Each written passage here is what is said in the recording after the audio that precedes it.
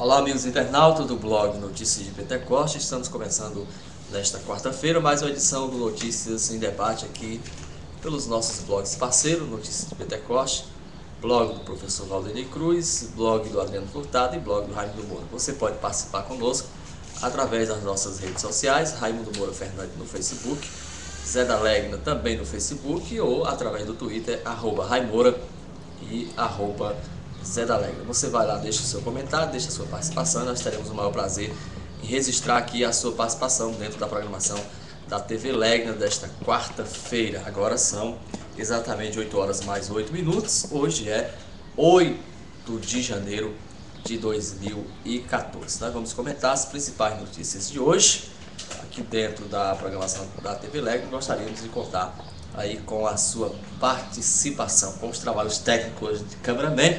É dele, Guerra Neto. Vamos começar o programa de hoje, Zé, trazendo já a sua participação aqui dentro da TV Legnas nesta manhã, é, com sol e com nuvem de quarta-feira aqui em Pentecoste. Bom dia. É, bom dia, Raimundo Moura. Bom dia a todo o povo bom e amigo aqui, os nossos internautas aqui da, que acompanham o nosso trabalho através da TV Legnas. É, você do Facebook, você do blog Notícias de Pentecoste. Nós realmente, Raimundo Moura, vamos é, é, fazer a nossa programação de hoje contando com a participação dos nossos internautas. Você que está em casa, você que está no trabalho, você que acompanha o nosso trabalho, o nosso bom dia. É, você pode acessar através do blog Notícias Pentecoste, você entra no blog Notícias Pentecoste, ao lado tá, tem uma janelinha que você clica lá, TV Legnas, e você nos assiste. Tem também os blogs parceiros, que é o blog do Raimundo Moura, é também o blog do Valdemir Cruz, professor Valdemir Cruz, o blog do Adriano Furtado. Portanto, a partir de agora, você pode participar. Participe também por telefone, pelo 9218 9718 e 9609 6134. Agradecendo aqui a presença do nosso radialista Raimundo Moura, né, que nós somos parceiros nessa luta, e hoje com o nosso mini câmera, que é o Guerra Neto. Né?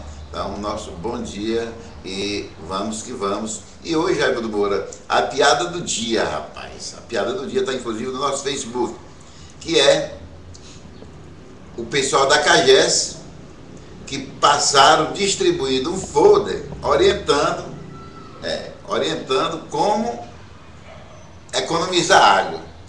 É, não sei se é para rir ou se é para chorar. Eles passam orientando as pessoas a, a, a não desperdiçar água. Mas e as caixas d'água derramadas pela própria CAGES? Como é que se explica? Né? Então, assim, é complicado, né? Então, passa aí, amor, você vê isso aí, bora.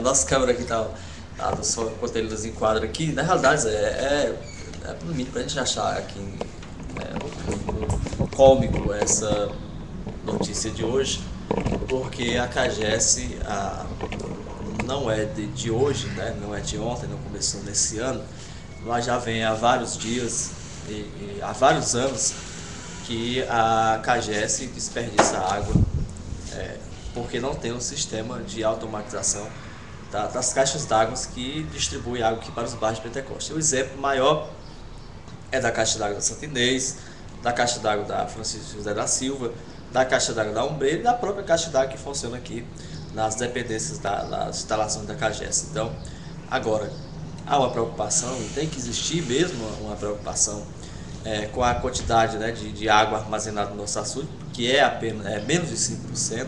A cada dia que passa, principalmente nos dias mais ensolarados, a gente percebe que há uma evaporação e o açude seca cada vez mais. Estamos torcendo e esperando que é, o inverno de fato comece, né? Comece nesse ano 2014, para que essa preocupação, de certa forma, ela diminua. Mas é claro que mesmo com o inverno, a CAGES não pode, de maneira alguma, estar desperdiçando água, permitindo que seja desperdiçado água nos, nas suas caixas de armazenamento para distribuição aqui da população de Pentecoste. Mas realmente né, é, é algo que precisa ser alertado as emissoras de rádio têm alertado com relação a isso. A gente tem chamado a atenção no blog, tem chamado a atenção aqui na TV Legnas, mas mesmo assim parece que não tem surtido aí o efeito, porque até na própria Assembleia Legislativa isso já foi discutido, feito um requerimento por parte do parlamentar, é, convocado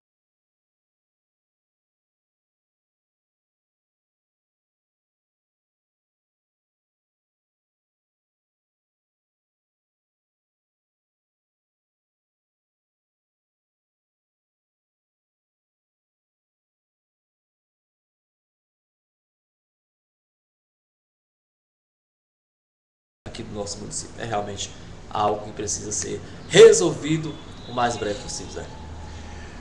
Pois é, Moura, é, nós, nós, nós sabemos assim da, da, grande dificuldade que existe. Eu quero mostrar aqui o folder, né? Aqui, ó, Cajés aqui, ó, ó, olha só a gracinha aqui, ó. olha só a gracinha aqui. Ó. Não desperdice água, sua saúde vale cada gota. Rapaz, eu não, eu, eu, eu não compreendo. Vou ler aqui isso aqui do, jeito que está, olha. Siga as dicas de economia. Lave frutas e legumes numa vasilha com água e vinagre. Deixe a torneira fechada. Primeiro ensaboe toda a louça e só então enxague tudo de uma vez. Não deixe a torneira da sua pia aberta. Não desperdice água lavando calçada, até porque o maior desperdício é o seu é do seu dinheiro. Calçada a gente limpa com vassoura. Feche a torneira ao fazer a barba ou enquanto escova os dentes. O vaso sanitário gasta até 50% do consumo de água. Use a descarga só necessário e não jogue no vaso objetos que possam ser colocados no lixo. Lavar o carro com mangueira pode gastar até 300 litros de água. O certo é usar balde, flanela ou estopa. No banho, mantenha o chuveiro fechado na hora de se ensaboar ou lavar o cabelo com shampoo. Portanto, localiza que os vazamentos escondidos é mais fácil do que você pensa. Siga os testes abaixo. E a água desperdiçada em torneiras, descargas de chuveiros, boias de caixas d'água e tubulação com vazamento é dinheiro gasto sem necessidade. Veja só, isso aqui se enquadra exatamente na CAGES, Raimundo Moura. Água desperdiçadas em torneira, descargas de chuveiros, boias de caixa d'água e tubulação com vazamento dá é, é dinheiro gasto sem necessidade. Então, gotejamento, olha, presta atenção. Gotejamento, só a torneira pingando. Durante um mês, você gasta 1.380 litros. Com a abertura de 1 milímetro, em um mês, gasta 62.640 litros.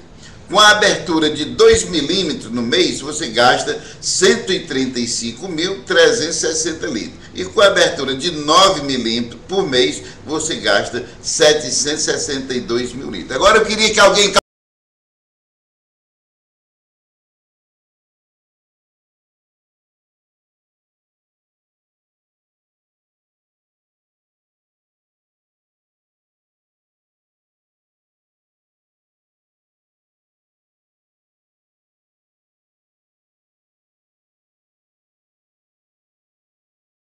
vocês gastam por mês da nossa água minguada que tem na Júlio Pereira de Miranda? Água cara que nós pagamos o preço?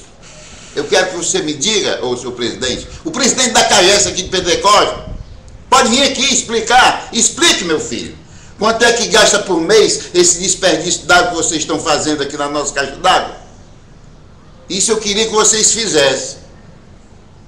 Isso eu queria que vocês fizessem. Isso aqui parece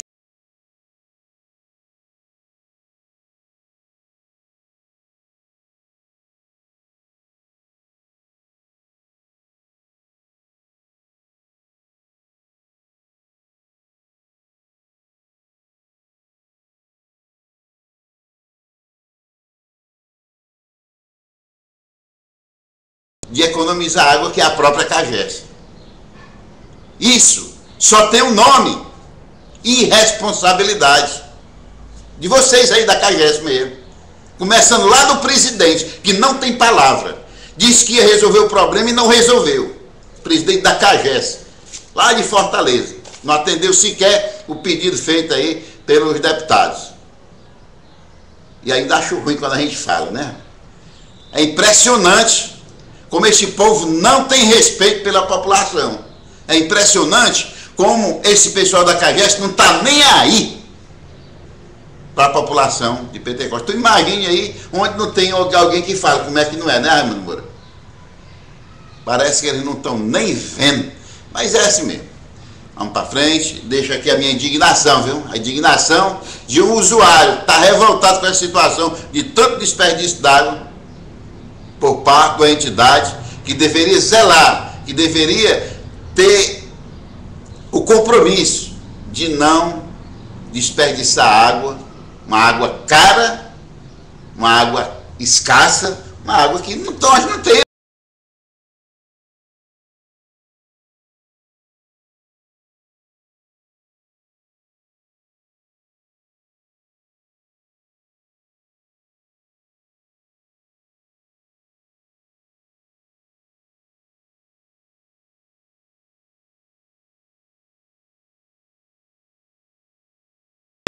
É, é que uma outra reclamação, agora não falando mais da CAGES, outra reclamação que chega aqui à nossa redação da TV Legnas é quanto à questão dos esgotos. É. Realmente os esgotos de Pentecoste têm, com o passar dos anos, eles têm se multiplicado, em vez de diminuir,